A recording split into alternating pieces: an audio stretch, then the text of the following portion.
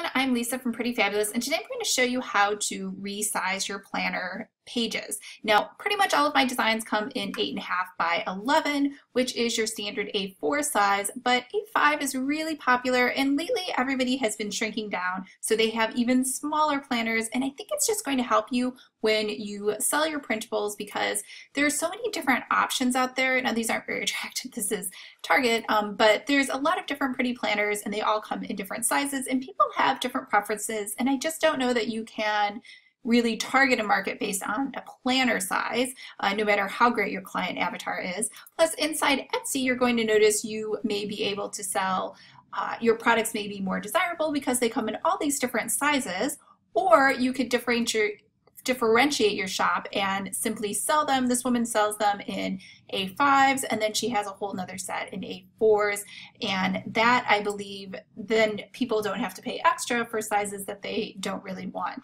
Either way it's going to help you to be more versatile. So let's go into the academic planner. And this is a great planner, whether or not it's the academic calendar year or it's just any time of year.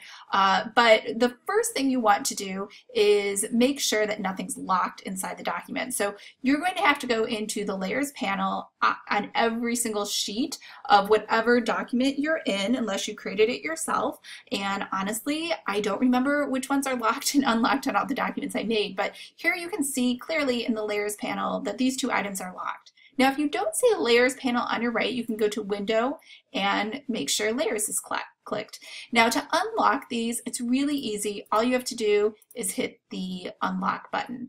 The other way to unlock things on a sheet, if you don't want to open the layers panel, is simply to open each sheet and say unlock all on spread and you can see it just unlock those two items. So that will do the trick too without having to go through everything. And the reason you want to unlock them is because it's going to lock their dimensions. And we are going to use what's called liquid layout. So go over here over on the left and select the third one down. It's called page tool. And if you don't see page tool, you're actually going to be able to go up here to the top to layout and select liquid layout and that will bring you to the same place.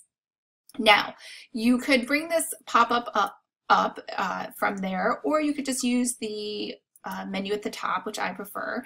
And you, let's just resize uh, one page just to start out. And we're going to make sure we select scale. And then over here on the left, you can select any type of size that you want. And we are going to go ahead and select A5. So it automatically shrank the whole dot, that whole page and you can see everything is still in scale. Now, let's say we want to do the entire document. So we're going to go over here to pages and we're just going to make sure I'm going to hit control A. That's going to select everything. And I'm going to go back here to liquid page rule, make sure it says scale, and then I'm going to change the whole document to A5. You get the spinning beach ball because this is pretty large. I think there's 165 pages and we're done. So you want to make sure, because not everything scales correctly. So you can see right here, this didn't really scale correctly and it kind of overlapped on the other page. Um, for the most part, this is a little bit off. So you may have to do some manual adjusting here and there, but for the most part, your document should rescale. And honestly, I can't explain why some things rescale and some things don't. So let's go back to the main selection tool. And over here, all you have to do, as you know, see, that's kind of weird. Uh, some things scaled and some things didn't. You're just gonna select everything and then you can just shift it all over to the right. You know, just, I would say just eyeball it because there's not a lot of stuff and oops, let's hold the shift key. I'll select those three lines that are out of place. I'll use my arrows to make sure I get it over. And there we go. So that's all done.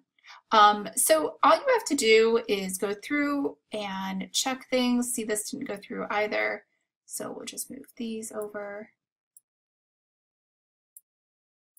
Um, and we'll have to move those up. But either way, this is going to be so much faster than in the other old days, I won't say the old days, but before uh, liquid layout, I used to have to do everything by hand for every single page that has to be adjusted to. Uh, this is going to make your life so much easier because there's just a couple pages that are maybe out of place uh, in the entire document. So now you have an A5 document. And again, you could repeat that same pattern for any size inside of here. Or if you want, here at the bottom, you could designate a custom size based on maybe, say, a particular client request if you want to do custom work, or something else that you are trying to put together. So say a menu, uh, I do that frequently for restaurants. I will have to resize an entire menu based on uh, the inserts or the different sizes or a takeout menu or something like that. So I hope this was helpful and I will see you guys next week.